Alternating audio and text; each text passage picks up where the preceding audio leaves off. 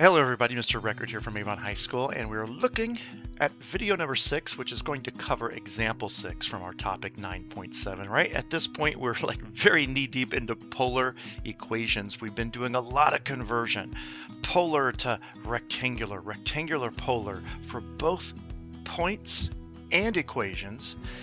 If you think one thing that we haven't tried yet is to bridge the gap between polar to parametric, and that's what this video is all about. So if we take a look at our example six, as we see from my notes, it says to convert a graph in polar form to parametric form, we're going to use our good buddies x equal r cosine theta, y equal r sine of theta. Notice that these things get a lot of use throughout both the parametric equation concepts and the polar equation concepts as well. So for this example six, we're going to do just that.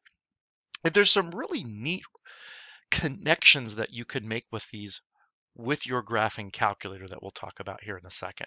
So first of all, for part A, R equal 4. If you don't know what the graph of this R equal 4 looks like before this video. I'm hoping that at the end of the video, it's going to make a little bit more sense to you as I'd like to take a moment or two to sketch this guy. So for the conversion, at least, what you're going to do is use the idea that indeed x is equal to the r value times the cosine function. So r equal 4 times the cosine of theta is half of your parametric equation. And then the other half of your parametric equation would be 4 times the sine of theta. Now, I want to kind of outline some things. As I said before, this is the parametric. This is really what we were supposed to do in this problem. We've answered the question, we're done. And this is the polar form. Now I know the question didn't ask for it, but just for kicks, I would like to go ahead and find the rectangular form. And to do that, we use a formula that we used in a previous video. Hopefully you remember it. It was that r is equal to the square root of x squared plus y squared. Basically, it's just a, an adaptation of the Pythagorean theorem. But we probably would think of this maybe being written a little differently if we squared both sides as x squared plus y squared equals 16. And so I'm going to therefore call that the rectangular. Well, if I were to ask you, watching the video, what does the sketch look like of either one of these, whether you graphed it as polar, parametric, or rectangular, what do you think it looks like? Well, let's see if your observation is correct, if you had an observation. So we're going to move to the graphing calculator and find out. So to make this happen, I've moved over to my TI Nspire software. And what I've got right here is a very special program that I actually developed um, or wrote or coded in to graph polar graphing coordinates on top of rectangular coordinates. And I have it set up in a couple of different formats here. I have a pi over 4 spoke, and then in this page 1.2, which is the one I'm going to work from, um, for all of these examples and moving forward is the one that's built in a pi over 12 spoke. And basically what I wanted to do is graph that first polar equation, which was r equal 4. So notice I have to choose the polar option for this. You could do the same thing by using the TI-84. You can still graph in polar on that particular model. And boom, there's what I get. Hopefully that's what you expected. It is a circle. It has a radius of 4 hence r equal 4, and it is centered at the pole, which is kind of the origin of the polar axis. Now, what if I went in and graph entried parametric? And I threw those two parametric equations in. If you remember, x was equal to r times the cosine of theta. And then we had, let's make sure that that theta takes. Let's try that again, you guys. It's not going to like that unless I put parentheses in. Okay, and then we'll try y equal 4 times the sine, and I'll tell you what, I'll actually use the sine expression this time, of theta. And then boom, if I hit enter, nothing seemed to happen. Well, it did happen. It's just that we have an issue here. And I wanted to show this to you because it's a really common mistake on the part of Nspire users. The polar is going to allow you to input theta as your independent variable. Of course, we didn't need to do that because 4 was a constant. But the calculator is going to struggle with parametric written like this because it's expecting functions in terms of t. Unless we change them, we want to make sure that that stays the, the, the way that we want it to. Now, when you hit enter, it's going to look like, oh, well, nothing happened. But I guarantee something did happen because I can now go into this and I could change its color to maybe red. And now we're going to see the difference between the two if I just click on this graph, there it is in blue. And if I click on this graph, there it is in the red. And notice that it kind of like stopped short of graphing all of it because my 6.28 is simply an approximation of 2 pi. But if I actually typed in 2 pi, I might have a better chance of this going the full distance if I change that and maybe change my step size to be a little bit more precise than instead of 0.13, how about 0.05? I don't think that's going to take any extra time. And you'll notice I ate up a little bit more of that segment if I wanted to change it even more. I usually don't go much more precise than 0.01, but I think you're going to see that red uh, pixel or two cover up that region. So there we have it. Those are our two graphs. Now, if I were to go back in here to graph entry and graph, let's say relation, remember we had x squared plus y squared equivalent to 16, which is boom, yet another curve. Oh, let's make this guy green. Let's have a lot of fun with this guy. And if we make him green, we can see that, boom, they're all the same graph, right? No matter which form you think of it in, we have the same equation. And that's kind of one of the things that I like my students to see and make these connections that polar and parametric and rectangular all have these equivalences.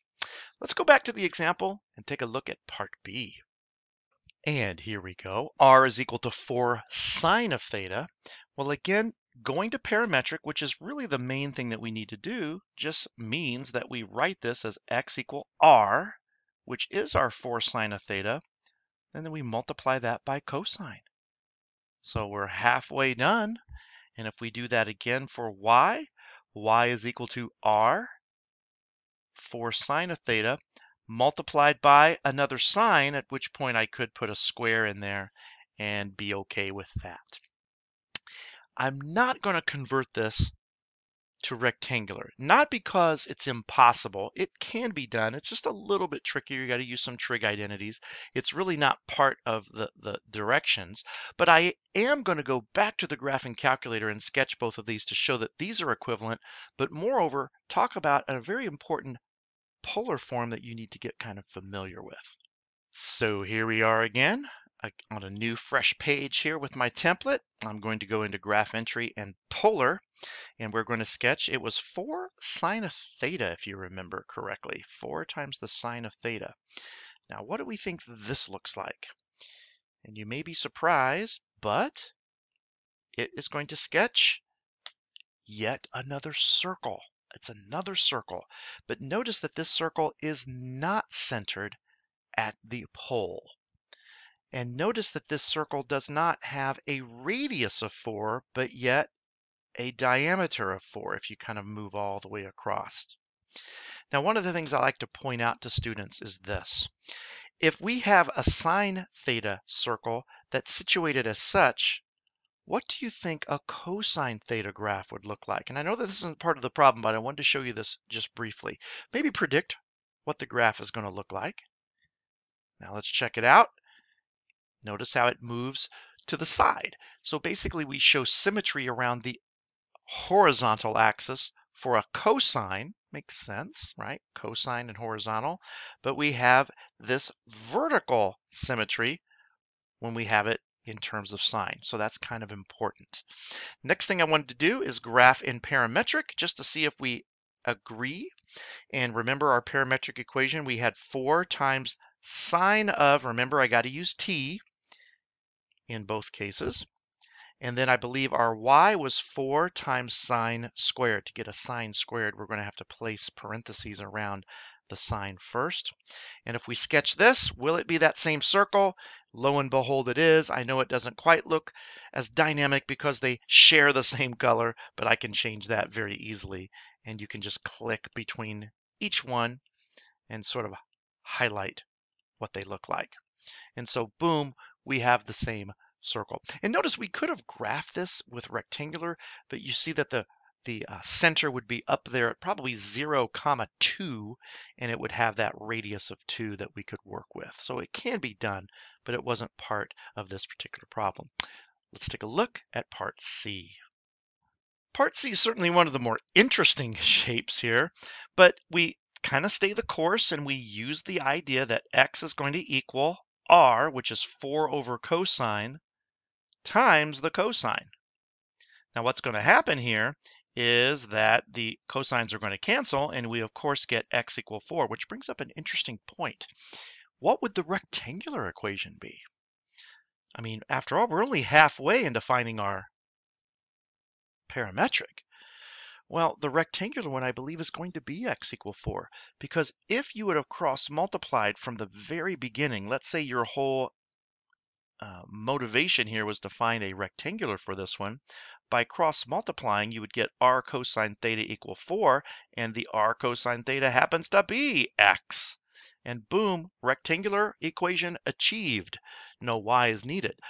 But for the parametric, we still have to have a y, which makes us wonder, why?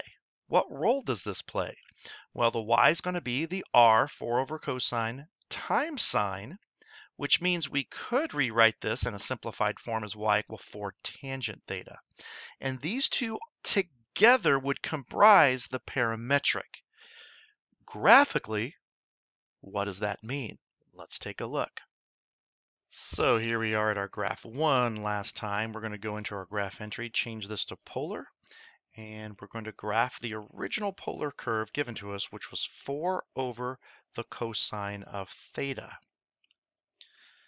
So here's what we get. Probably not too surprised by that. It is a vertical line, which is what the graph of x equal 4 would look like. And I probably don't need to graph x equal 4, but you know what? Why not? I'll go ahead and graph it. Now notice it's not a function. I could call it a relation. This is a really neat feature on the TI-84 that will allow you to graph vertical lines like that.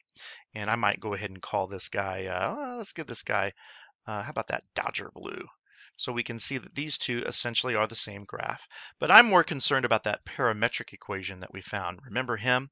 So if I go in, Graph entry parametric, remember my parameters, I was x equal 4, and then the other one was x equal tangent of theta. So let's go ahead and sketch that tangent of theta. Boom, there he is. Let's give this guy a color that's going to make him stand out. I'm kind of in the mood for this orange. Let's go with that guy. So there is our parametric equation. Oh, parametric equations are going to work a lot better if I put a t there, right? Otherwise, I can't even change the graph to orange. Now I can. So there we go. But the question is, what's the role of this 4 tangent theta when I already know that x is equal to three, uh, 4 the whole time?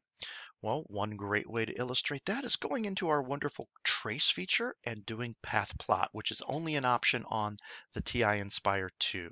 So if I plot this parametric equation, it knows to go to the correct one here, and I'm going to push play. Down here we see what the t value is. Down here we see what the ordered pair is. Let's push play, sit back, get our popcorn, watch the movie unfold. And we notice as t gets bigger, the dot just kind of goes up to oblivion and, and then all of a sudden it shows up again at the bottom, right?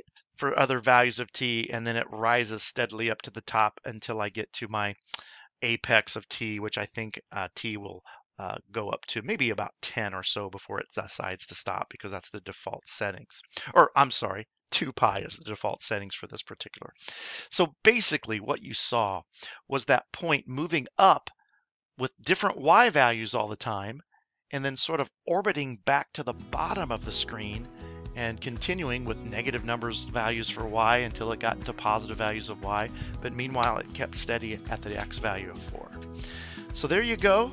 Three interesting equations in polar that you can easily convert to parametric and plus a little bit of extra to see what the graphs look like. We've got several more graphs coming up to you in polar. Be sure to check them out. As always, thanks for joining.